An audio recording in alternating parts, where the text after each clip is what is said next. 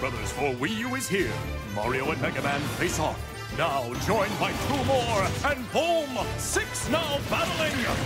Can I get an eight? Yes! That's eight-player chaos! Oh, that's gonna hurt. Mario makes his moves. Whoa! Stick a fork in them, they're done! Got a beef?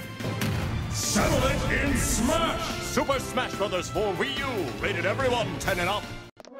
What's going on YouTube? This is your boy Rick Gamer 27 and uh, once again I want to thank you for joining my channel. Uh, today I want to talk about what Reggie Fils-Aimé said the other day. Uh, you know, Nintendo's president of America.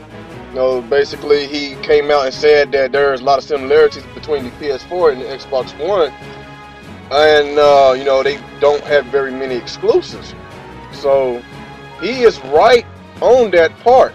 And a whole bunch of fanboys is taking it the wrong way. They you know, basically saying he's damage controlling the whole situation, and and I don't see how he's damage controlling the whole situation.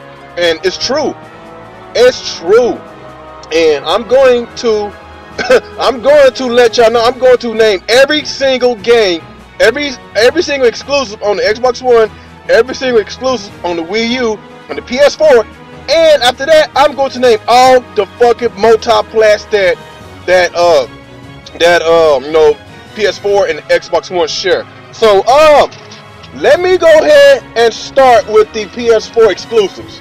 Okay, you got Knack, Killzone, Major League The Show, Infamous Second Son, Little Big Planet 3, Drive Club, The Last of Us. So, if there's any exclusive that I am missing, then please correct me in the comment section below. Let's skip over to the Xbox One. You got Titanfall, Sunset Overdrive, Halo Master Chief Collection, Killer Instinct Season 1 and 2. Uh, you got you have two different Forza games, uh, Kinect Sports Rivals, Dead Rising 3, Ryse Son of Rome. Okay, seems like Xbox One has more exclusives. Okay, let's skip up to the Wii U. Super Mario 3D World, Mario Kart 8, Game & Wario, Pikmin 3, Lego uh, City Undercover, Zombie U, Wii Party U, The Legend of Zelda Wind Waker HD, Monster Hunter Tri, Bayonetta 1 and 2, Sonic Lost World, ESPN Sports Connection. Um, Ninja Gaiden 3 was basically supposed to be a Nintendo exclusive because they published it, but then again, they went ahead and uh, put it on the 360 and the PS3 as well. So I'm gonna go ahead and count that since Nintendo published that game.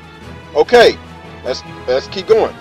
Fatal Frame, Hyrule Warriors, Donkey Kong, Tropical Freeze. Okay, uh, Mario and Sonic's, uh, the 2014 Olympics, whatever. The Wonderful 101. Super Smash Brothers Wii U. Captain Toad Treasure Tracker. And if there's some games I missed on the Wii U, please correct me on the comment section below. So, okay, let's skip over to the motherfucking multi-plats that's on the Xbox One and the PS4.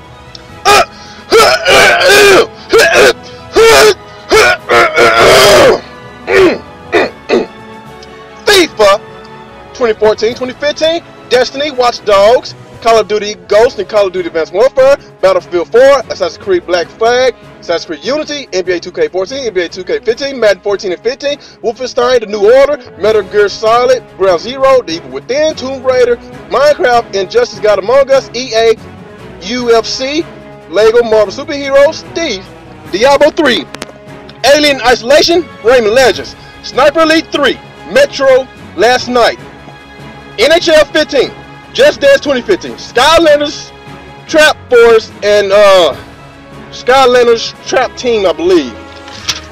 Lego The Hobbit, Murder, Murder, uh, Soul Suspect, Plants vs. Zombies, Garden Warfare, Disney Infinity 2.0, NBA Live 2014-2015, WWE 2015, The Walking Dead Season 2, The Amazing Spider-Man 2, Transformer, Rise of the Dark, Spark, uh, you know, Warriors Orochi 3, Sleeping Dogs, Angry Birds Star Wars.